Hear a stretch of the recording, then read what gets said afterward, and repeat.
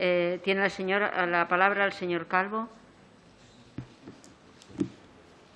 Sí, gracias, presidenta. Buenas tardes. De esta PNL, me refiero a la de Unidas Podemos, solo compartimos la primera línea y no en su totalidad. Lo único cierto es que el modelo territorial, tal y como está concebido, presenta en la actualidad grandes carencias. El modelo territorial consagrado en nuestra Constitución, tal cual ha sido desarrollado, ha fomentado los separatismos y ha lastrado las arcas públicas al multiplicar por 17 todos los organismos. Los nacionalistas y sus facilitadores exhiben el sometimiento del Estado de Derecho como un triunfo político.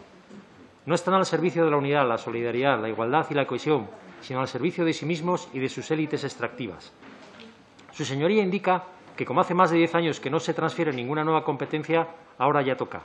Estamos ante una nueva perversión en virtud de la cual las autonomías se sienten obligadas a exigir cada vez más competencias para justificar su propia existencia y para no ser menos que las demás. Ahora es la P9, luego es tráfico, seguridad, salvamento marítimo, etcétera, etcétera. El delirio llega a pedir que el Gobierno gallego asuma funciones del INS, INEM, Inspección de Trabajo y FOGASA.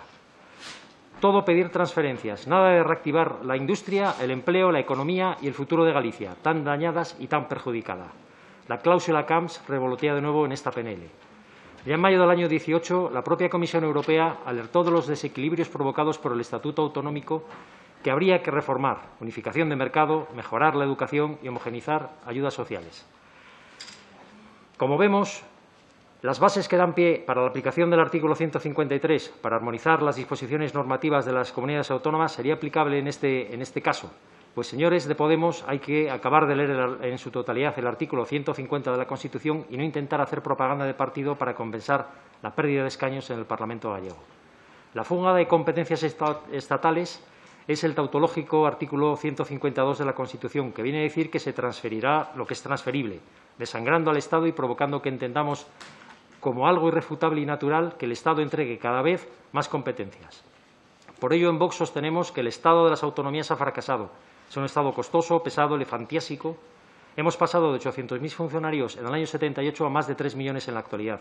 Medio millón de cargos públicos y una tremenda burocracia que lo hacen ineficiente, como estamos comprobando de manera dramática en la crisis actual.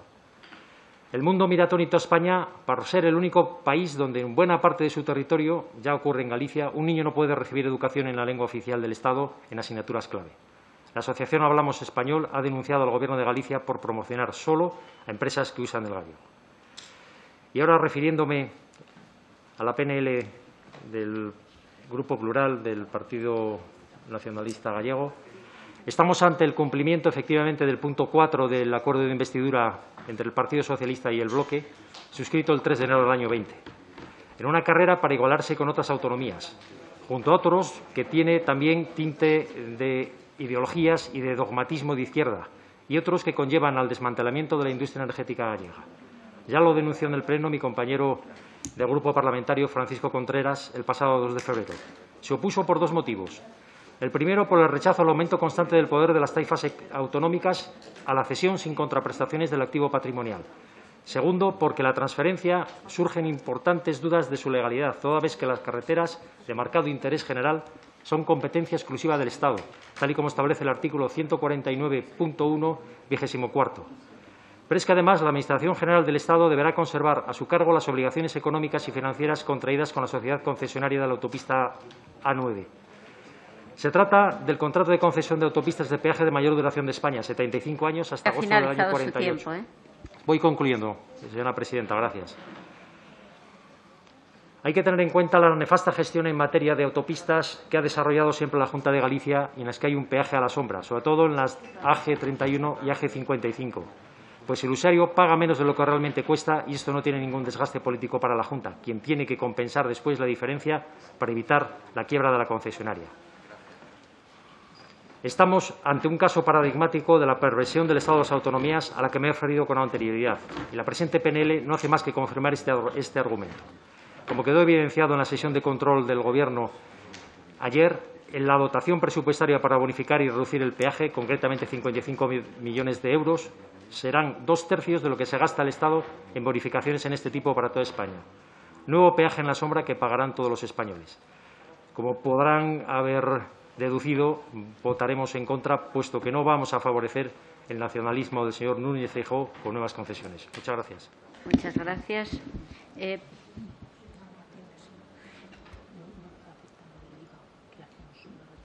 Muchas gracias. El Partido Popular nos presenta aquí una proposición para preparar y negociar el tercer acuerdo en el ámbito del sector público para mejorar las condiciones del empleo público y las condiciones en general de trabajo de los funcionarios. Entre las actuaciones concretas que nos propone, eh, entre ellas menciona, por ejemplo, como ha comentado la, su portavoz, el suprimir la tasa de reposición como tope a las OPEs a partir de 2022 para determinados colectivos o determinados sectores específicos de la Administración, establecer el cumplimiento del límite del 8% como tasa de temporalidad máxima y también el establecer, por ejemplo, la consolidación de determinadas cuestiones consideradas avances e incluso que se impulsen, por ejemplo, los planes de igualdad. Eh, nuestro grupo eh, parlamentario considera que es muy importante contar con unos buenos empleados públicos estables en número suficiente, seleccionados bajo los principios de mérito y capacidad y que reciban una retribución justa y adecuada a sus responsabilidades.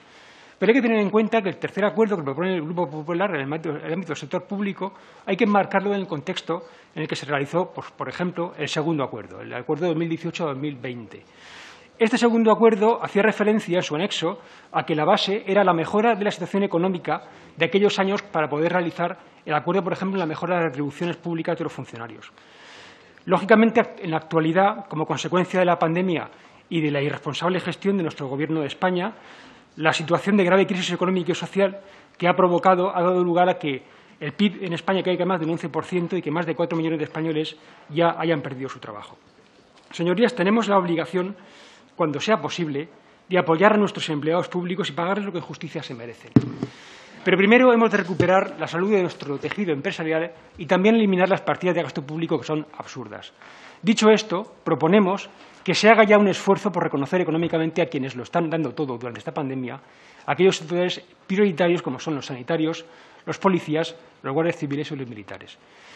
Por último, comentar que hemos presentado enmiendas, efectivamente, a esta PNL del Partido Popular, porque en el fondo nos gustaría apoyarla, pero claro, nos sorprende, o quizá no, que el Grupo Popular siga tragándose los falsos dogmas progres plasmados en la Ley Orgánica de 3-2007 que insisten en la desigualdad entre hombres y mujeres, especialmente en el ámbito de la Administración. No tienen sentido planes de igualdad en la Administración ni perspectivas de género, porque no existen discriminaciones entre hombres y mujeres. Esto es evidente y quien no quiera verlo, que mire. Todo esto cuesta dinero a los españoles y solo sirve para que los amiguetes, las amiguetas y los amiguetos de quienes están en el Gobierno vivan a cuerpo de rey. Por eso nuestro voto positivo se supedita a la admisión de nuestras enmiendas. Muchas gracias. Trada por el Grupo Vox. Tiene la palabra el señor del Valle. Con la venia de la presidencia, el Grupo Socialista nos trae una proposición no de ley que, en los términos en que está redactada, nos resulta sencillamente inexplicable. Bueno, hoy podría pensarse que el proceso electoral iniciado en Madrid pues explicaría este interés del PSOE en iniciar ya su campaña en la región. Hay en concreto cuatro cuestiones que chirrían. En primer lugar, la PNL parte de una iniciativa de asociaciones marcadamente politizadas y, por supuesto, subvencionadas por el PSOE y por Podemos. En segundo lugar, nos preguntamos por qué se insta al Gobierno a promover políticas municipales. En tercer lugar, nos preguntamos igualmente por qué se circunscribe exclusivamente a, la ciudad, a Madrid, y, en cuarto lugar, ¿por qué no se cita el índice de pobreza? La exposición de motivos de esta proposición recoge expresamente, como una de sus fuentes, las conclusiones alcanzadas por la Federación Regional de Asociaciones de Vecinos de Madrid. Es evidente que todas las conclusiones que alcanza esta federación van dirigidas inequívocamente a defender y promover al Partido Socialista o Podemos, no a buscar el bienestar de los españoles. Así las cosas, la misma base de esta PNL está marcadamente sesgada. La PNL tampoco deja claro en qué medida el Gobierno debe suplir las funciones de las corporaciones municipales o de las comunidades autónomas. Es surrealista que el Gobierno PSOE-Podemos o socialcomunista, que no asume sus responsabilidades en materia sanitaria, que permite el desgobierno normativa de apertura de hostelería, que gestiona con absoluta negligencia y dejadez la lucha contra el COVID, pretenda ahora con esta PNL, invadir las competencias de otras administraciones. La PNL se centra exclusivamente en el sureste de Madrid y olvida otras zonas que sufren grandes necesidades en España. Hay municipios que necesitan una acción como esta con más urgencia que Madrid. Por ejemplo, Cádiz, que está, por cierto, gobernada por Podemos, Barcelona, también gobernada por Podemos, Huelva, gobernada por el PSOE, o Lérida, que está gobernada por Esquerra Republicana. Todos estos municipios sufren unos índices de pobreza muy por encima de los de Madrid, por lo que en principio estarían más necesitados de la ayuda gubernamental que este. Por lo tanto, debemos entender que esta PNL tiene claramente una intención partidista que busca más bien el beneficio político del PSOE y no de los españoles. Por último, ¿por qué no se menciona siquiera el índice de pobreza? Ese es el enemigo real de los españoles. Esa pobreza que empuja a muchísimos españoles a unas colas del hambre de las que el Gobierno del PSOE es uno de los principales culpables. Ustedes son quienes obligan a cerrar negocios, son quienes no pagan los ERTES que prometieron, son quienes no pagan esa renta mínima que anunciaron a bombo y platillo. En definitiva, ustedes son unos de los principales culpables de la creciente pobreza que resurge en España. Y, sin embargo, ustedes que provocan el problema vienen hoy aquí impostando una actitud de falsa buena fe. En definitiva, dejen de hacer campaña electoral, marketing y publicidad y empiecen a gobernar de una vez que los españoles necesitan un Gobierno de España que aporte soluciones de verdad. Vox ha presentado Ha una enmienda que pretende subsanar estos problemas y, bueno, ya nos han anunciado que la rechazan. Nada más y muchas gracias. Parlamentario Vox tiene la palabra el señor Ruiz Navarro. Muchas gracias. Eh, a la, la PNL de Ciudadanos ya adelantamos que el Grupo Parlamentario Vox la va a apoyar porque entendemos que urge dejar de mirar para otro lado y poner soluciones sobre la mesa ya. Es una lástima que el señor portavoz de Ciudadanos no haya querido admitir nuestra enmienda porque creemos que mejoraba, complementaba perfectamente la, PNL de Ciudadanos en el sentido de que permitía conocer o instar al Gobierno a, a que conozcamos cuántos funcionarios se encuentran efectivamente en esta situación. En todo caso, la PNL de Ciudadanos quiere dar respuesta a lo exigido por la cláusula quinta del Acuerdo Marco de la Directiva Europea 1999-70 sobre el abuso por parte del empleador en el uso de contratos temporales. Y es que es absolutamente lamentable que en el año 2021 todavía no se haya traspuesto la directiva europea, es decir, décadas de retraso, habiendo pasado por el Gobierno de España el Partido Popular y el Partido Socialista con mayorías absolutas incluidas. Es lamentable esta dejación de funciones y este incumplimiento de sus obligaciones de transponer directivas europeas. Y miren, señorías del Partido Popular y del Partido Socialista, aquí la responsabilidad no se dirime solo en el campo de la transposición de una directiva europea, sino también en el campo de la situación en la que han dejado ustedes, con sus gobiernos, a cientos de miles de empleados públicos de todas las administraciones. Esta situación es insoportable. Después de años, lustros e incluso décadas, muchos de estos eh, empleados públicos no han tenido la oportunidad de consolidar su puesto de trabajo porque los gobiernos conformados por ustedes no han tenido bien convocar en tiempo y forma todos los procesos selectivos que deberían haberse realizado. Miren, cuando compareció aquí el secretario de Estado de Política Territorial, a pregunta de nuestro grupo parlamentario, respondió que desde el Gobierno estaban ultimando una solución a este problema mediante la reforma del EBEP. No sabemos nada a día de hoy de esa supuesta reforma, pero en todo caso, de llevarse a cabo, tampoco solucionaría las situaciones que hoy ya tenemos sobre la mesa. Es cierto que esta responsabilidad no es exclusiva del Gobierno de España, porque también los gobiernos autonómicos y locales tienen una gran responsabilidad, ya que es allí donde se concentra el grueso de los, empleados públicos contratados en abuso de régimen. Y en ese sentido, señores de Ciudadanos, también les queríamos preguntar si efectivamente ustedes, que cogobiernan con el Partido Popular y ahora por lo visto también con el PSOE, autonomías, ayuntamientos y diputaciones, ¿qué han hecho ustedes para solucionar este problema? Y acabo ya. Es cierto que el auto del Tribunal de Justicia del 30 de septiembre europeo no establece la obligación general de transponer, de convertir los, eh, contratos temporales en definitivos. Pero sí que es cierto también que los empleados públicos sujetos a esta circunstancia no son culpables de nada y, por tanto, tienen derecho a que se les reconozca algún tipo de solución a su problema. Nada más y muchas gracias. Muchas Parlamentario Vox y tiene la palabra el señor Ruiz Navarro. Muchas gracias. Miren, el problema aquí no es un problema de financiación autonómica. El problema aquí son las propias autonomías, la existencia del Estado autonómico que nos hace a los españoles cada vez más desiguales. Y también, lógicamente, tener un Gobierno de España que no actúe con criterios de interés general de toda la nación. Señores de Esquerra Republicana, mire, los españoles de Alicante, Valencia y Castellón no necesitamos que ustedes vengan a salvarnos de nada. Esta iniciativa va de practicar su colonialismo, el pancatalanismo de los países catalans. Lo suyo no va de otra cosa. Ya les conocemos. A ustedes y a sus primos de compromiso. Mire, Esquerra Republicana no tiene legitimidad para hablar de nada que tenga que ver con el dinero ni con gestión pública, porque ustedes, desde hace muchos años, gobiernan Cataluña en coalición o en gobernanza con otros partidos, ya sea con el PSC o con Junts. Sea quien sea, en todo caso, ustedes son corresponsables de haber conducido a Cataluña a la quiebra más absoluta en lo económico y en la convivencia, con su golpe de Estado a la democracia. Cataluña es insolvente, está en quiebra y ustedes son responsables. En todo caso, en todo caso, las deudas históricas territoriales no existen, porque tributan las personas, no los territorios.